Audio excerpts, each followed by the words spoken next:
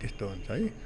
त्यसरी उनीहरूले त्यो सक्दैनन् अब हामीले के बुझ्नु पऱ्यो भन्दाखेरि यसरी यो जान्न आउनुपर्छ अब फेरि हामी के गर्नु पऱ्यो भन्दा यसलाई माथि ल्याउनु पऱ्यो एकैचोटि सबैभन्दा माथि ल्याउनु पऱ्यो भने त्यसरी आउँछ सबैभन्दा पछाडि जान्छ। त्यहाँ सयवटा हुन् सबैभन्दा पछाडि जान्छ सबैभन्दा माथि आउँछ कि? यो फोटोसपमा नि यो परेको हुन्छ इनडिजाइनमा जहाँ पनि अब यहाँबाट सुरु हुन्छ क्या डिजाइनहरू। यसरी जान्छ होइन। अब यसलाई एक स्टेप मात्रै माथि ल्याउनु पऱ्यो भने ब्रिङ टु फरवर्ड कति सजिलो छ कि? क्लिक गरिदिनु त्यति सम्झिनु मात्रै के? ब्रिङ टु फरवर्ड केही गाह्रो छ? छैन। अब यसलाई फेरि अझ एक स्टेप माथि ल्याउनु पऱ्यो फरक। सबैभन्दा माथि आइसक्यो अरे। यसलाई एक स्टेप तल मात्रै लानु पऱ्यो एक स्टेप तल गयो। अझ एक स्टेप तल लानु पऱ्यो अझ एक स्टेप तल गयो। अब यो के भयो? यसको यस यसमा छ यो यसमा छ। अब केही एउटा डिजाइन बन्यो। लोगोसोगो केही बन्यो अरे भनेपछि तल माथि बनाउनु जान्ने। होइन? कति सजिलो छ अब यसलाई सबैभन्दा तल लानु छ भने सेन्टु ब्याक ब्रिङ टु यसरी गर्नु। होइन? त्यो गर्नु। अब त्यसपछि फेरि हामीले के गर्नु सकिन्छ?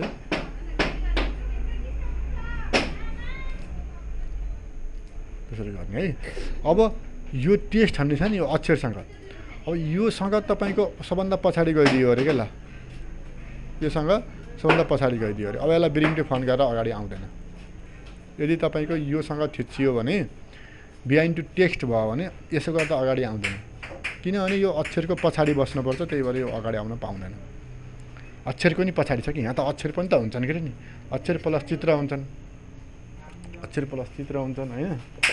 त्यो भएको हुँदाखेरि त्यसरी त मिल्दैन।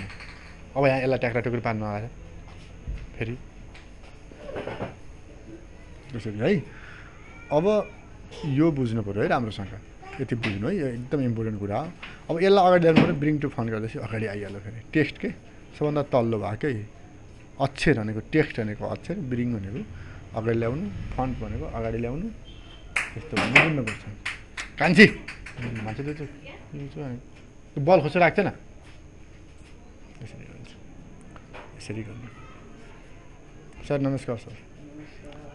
अनि यति जान्ने आज फेरि भोलि हामीले यो पढिन्छ यो पढिन्छ अनि यिनीहरू पढिन्छ अनि यति सिद्धाइन्छ। है अब यसलाई सँगै लिएर हिँड्नु पऱ्यो भने के गर्ने? कन्ट्रोल थिच्ने अनि क्लिक क्लिक क्लिक गरेर जाने अनि यो सँगै हिँड्छ। अब यसलाई सधैँको लागि एउटै बनाउनु पऱ्यो भने यहाँ गएर ग्रुप गर्ने। यति होमवर्क गर्ने आजको किनभने यो यति जब विद्यार्थीले जान्दछ नि त्यसले सबै कामहरू बनाउन सक्छ कि?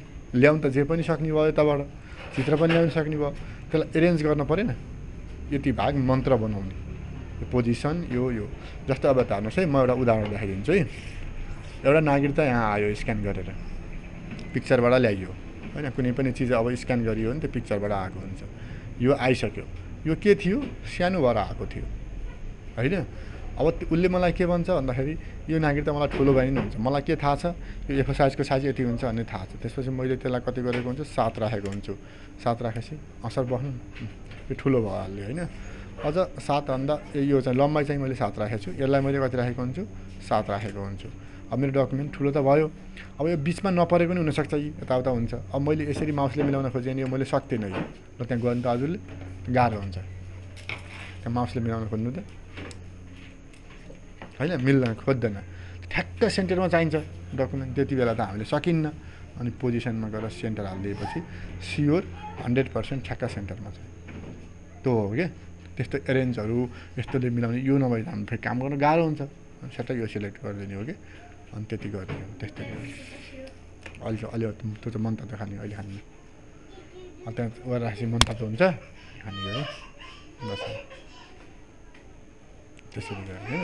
इन्सर्ट जाने सेप जाने आजको के के पढियो यस्तो आउँछ थ्रिडीहरू राख्ने यो यो यो डट डट डट डट यसलाई पचासचोटि हेर्ने अनि यो घुमाउने अनि यसले छाया राख्ने छायाको कलर राख्न नबिर्सने छाया मात्रै राख्ने होइन कि छायाको कलर पनि हुन्छ भने जान्ने।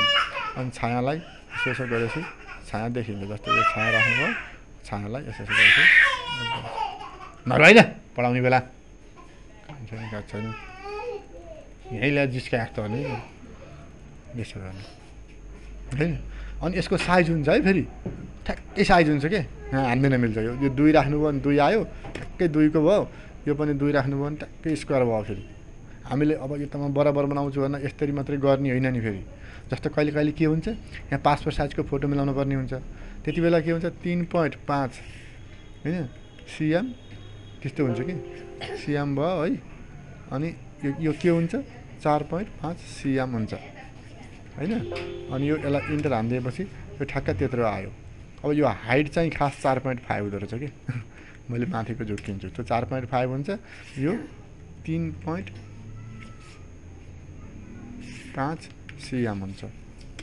अनि यो ठ्याक्क पासपोर्ट साइजको फोटो भयो। अब जसले यहाँ फोटो ल्याएर टाल्छ नि होइन? जसले यहाँ फोटो ल्याएर टाल्छ नि त्यसको साइज ठ्याक्कै मिलेको हुन्छ कि? हेऱ्यो हेऱ्यो कोठा बराबरको फोटो हुनुपर्छ भन्ने हुन्छ नि। ठ्याक्कै यहाँ उसले पासपोर्ट साइजको फोटो जहाँ बनाएर ल्याएको हुन्छ त्यो यहाँ राख्दा त्यत्रै देखिन्छ कि डकुमेन्टमा। भोलि त भोलि त ठ्याक्कै जान्न पऱ्यो नि त। यसको साइज कति रहेछ?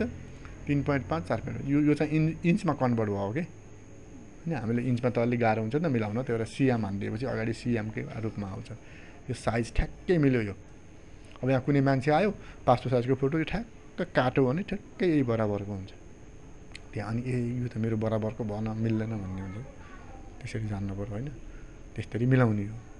त्यसरी आज हजुरहरूको होमवर्क के हुने भयो?